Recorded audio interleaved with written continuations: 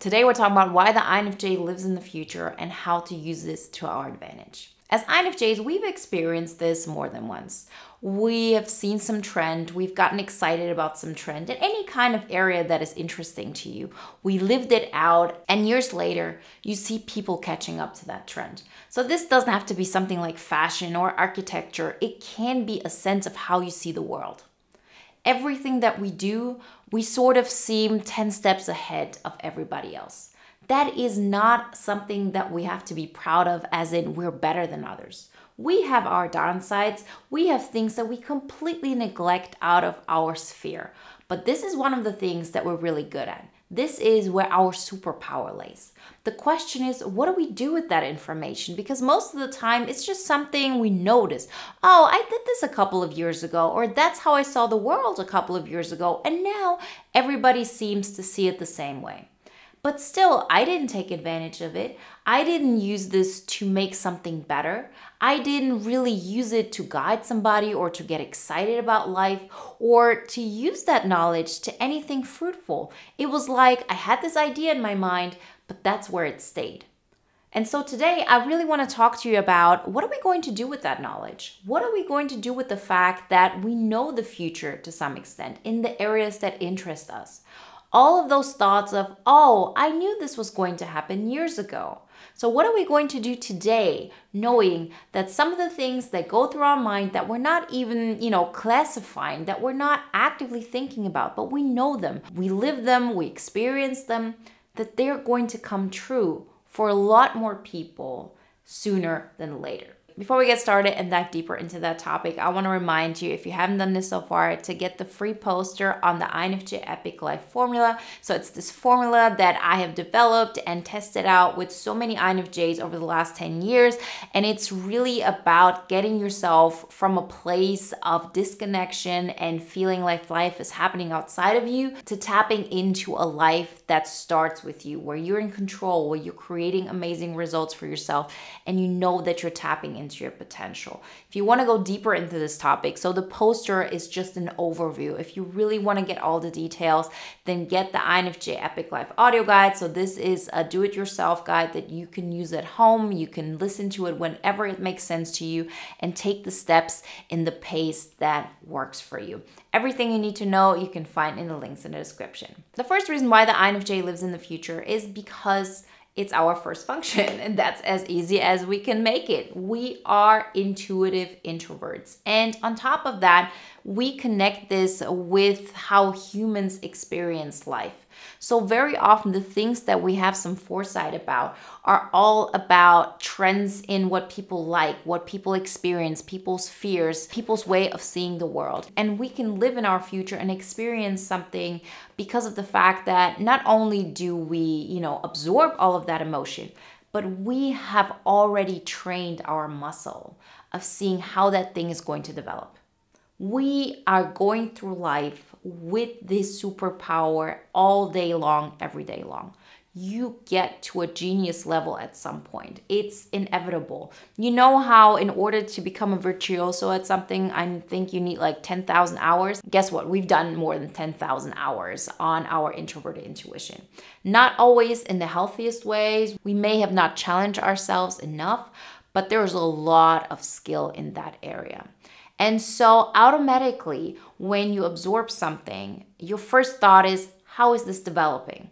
And this happens on autopilot. You're not even thinking about it.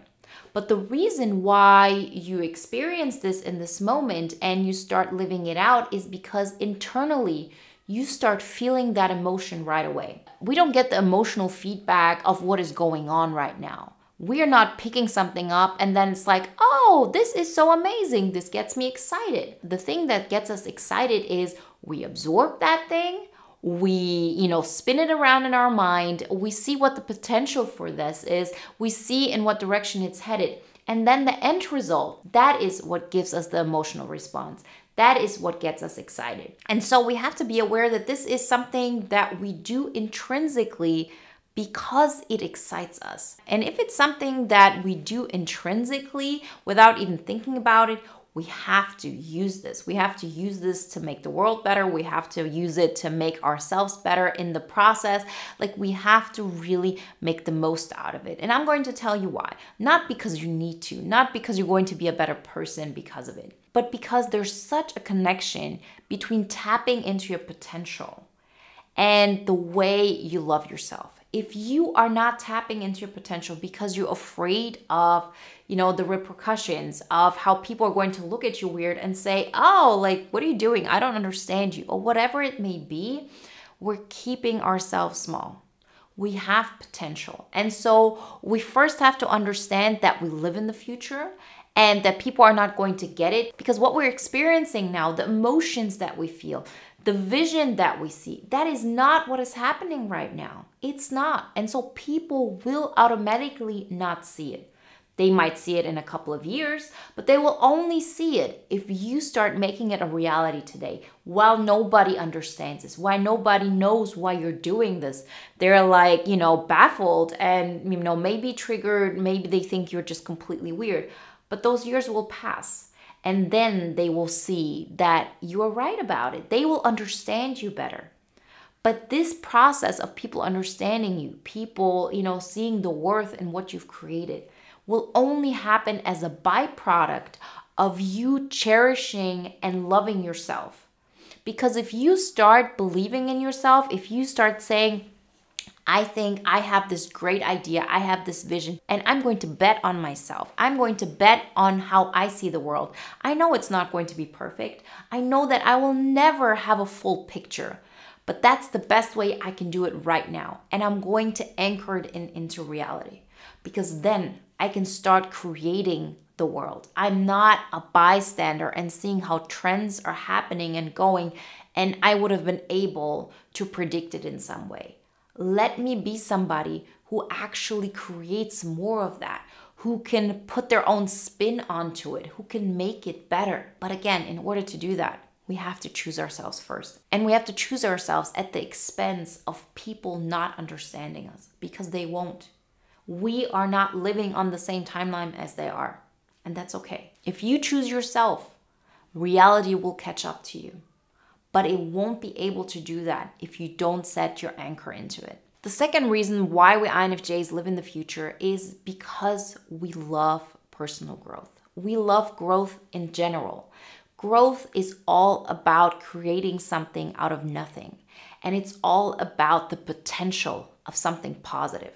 We're not looking into scenarios and thinking about, oh, this is how bad it could turn. We're thinking about what is the potential? How can the abundance of this person, of this circumstance, of this movement be even more magnificent? This is abundance thinking. And we very often see this abundance for other people, for other circumstances, for everything that isn't us, as if we're independent of that. But we're not. We're the ones who are creating this abundance. So, of course, we have to use this abundance to create ourselves in the process we have to create a life where we're part of it, where we're not just observers.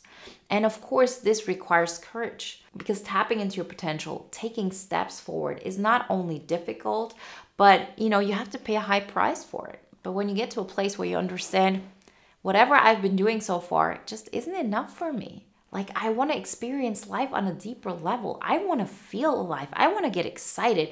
I want to feel like this is something where I know at the core of my being that I'm tapping into my potential. I'm creating my INFJ epic life. And no matter whoever comes across me, they can never convince me that I'm not doing it because I know deep down that I am.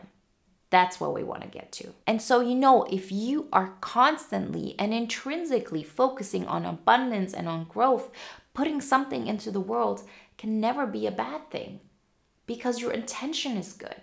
You want growth out of it. You're not doing this in order to inflict pain on others. You're not doing this because you cannot handle your own emotions. There will be a weight of you that is going to be put on the world. You're going to burden the world with your worldview. We're so afraid of that so often, not only because we think like it's too much for people to carry, but it's like I'm not good enough to put that burden onto others. I have to pull myself back. But you being a burden is weight.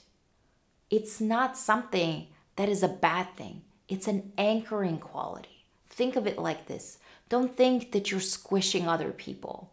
Think of it as something that grounds people, that shows them another perspective, that transforms them. Because you being you can never be a bad thing, even if it hurts people.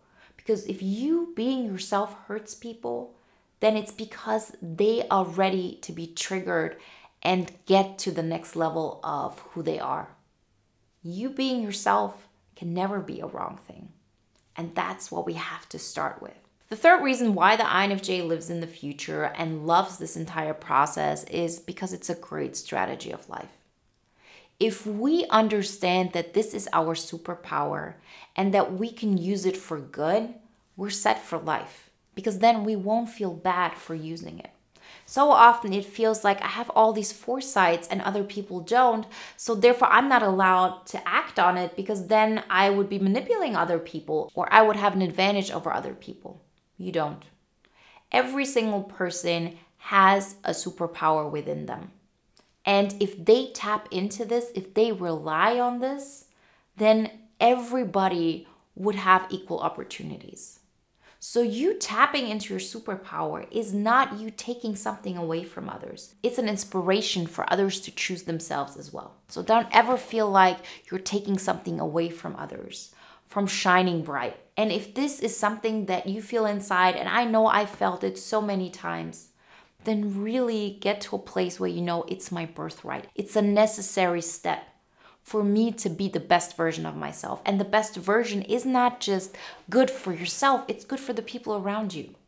So, yes, you might not be a crutch anymore for some people. You might not be enabling people anymore. You might not make them feel good about who they are in the moment. But what you are is being a person who inspires them to create a version of themselves that they truly like, where they don't need you as a crutch, but you're their inspiration so they find their true essence themselves. You can act towards them in a way of, I don't think you can do it, so let me be the one who saves you. Or you can act in a way of, I'm tapping into my superpower. I'm using this knowledge of the future and how things might develop to my advantage because this is who I am. And this is my birthright. And I'm doing this because I'm part of humanity.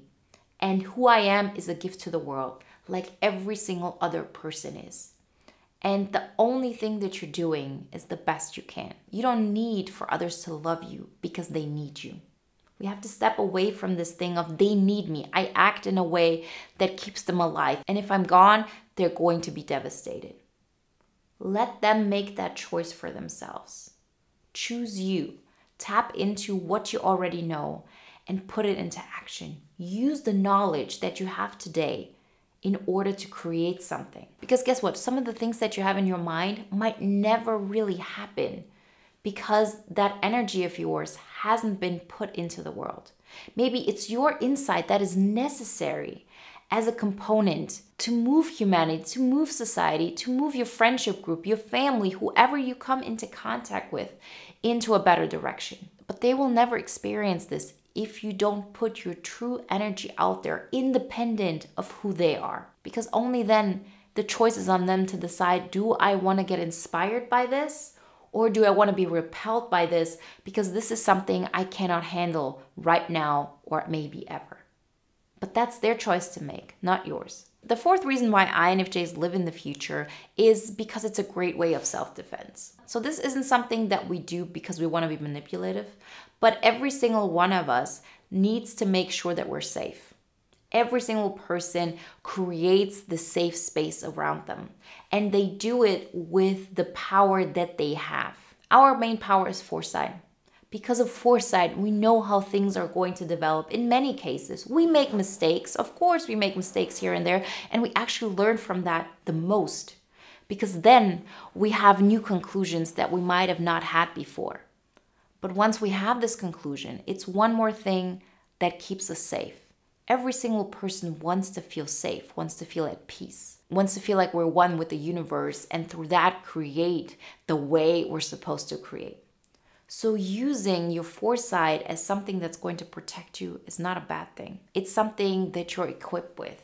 So don't make it a bad thing. It's actually the thing that allows you to be kind. It's the thing that allows you to be generous.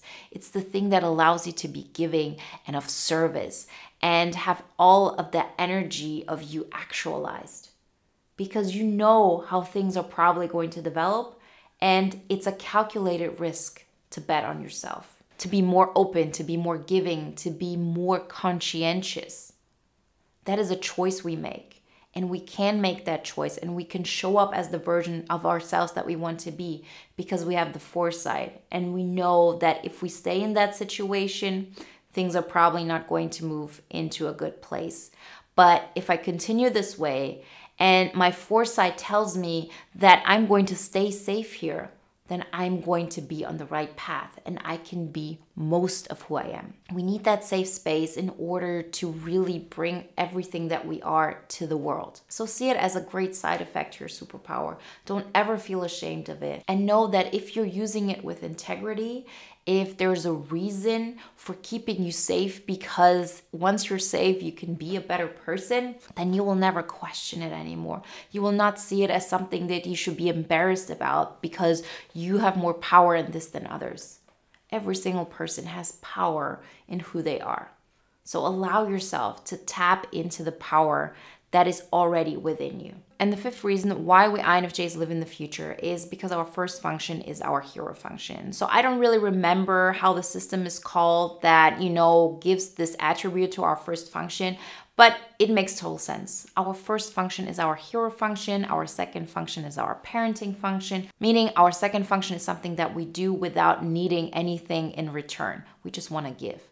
But our first function is our hero function. This is where we feel like we have this superpower. We are the hero of our own story. You're allowed to feel like the hero of your own story. The challenge here is that our first function is not visible to most people. That hero function is something that we have to tap into because we know we're making the most of what we can right now with what we have. That is the moment you tap into your own hero. Nobody's going to see it. Nobody's going to give you the feedback of, oh, you're such a great hero or not. Or even if they did, it won't matter to you because you're the only one who knows what your potential are and who knows if you're tapping into it. So, what do we do with all this information? Well, the main thing is expect more from yourself. If you have a vision for something, make it a reality. Start putting that seed into the real reality. How is your life right now? What can you make better out of where you're currently at? And lean into your visions. Alter reality through your filter. Do it in the way you can, and you'll see how you will know the instant you start that you're living your INFJ epic life and that you'll never back off again. Because once you start leaning into it, you know that you finally found what you've been looking for your entire life and you didn't find it in anybody else. You found it in trusting that although you're not perfect, although you don't know all the answers, you're willing to go into the ring in sharing who you are with the world. And you're the only one who decides in what capacity you want to do that. But it's a capacity in which you stay safe, in which you allow yourself to use all of your gifts, in which you allow reality and people to be confronted with who you are. We're so afraid of being who we are because of the reaction we're going to get. But that reaction is a necessary component. The more you choose yourself, the more you build on something, the more you start creating that life that is going on in your mind as a first step, the less you're going to feel all of those confrontations because your life is going to move away from the people who cannot handle who you are and will attract the people who want to be inspired by you. The pain that you're afraid of, that is happening internally in the first place, will be the most when you start. It won't stay this hard, but you have to go through it to get to the next level. So, again, if you want an overview of how to make this process happen, get the free poster on the INFJ Epic Life formula. And if you want to deep dive into it and really start taking action, I can only highly recommend getting the INFJ Epic Life audio guide. Everything you need to know you can find in the links in the description. And if you want to watch another video now that is in alignment with today's topic, then check out the video you see on the screen right now. I'll see you in the next one. Bye, guys.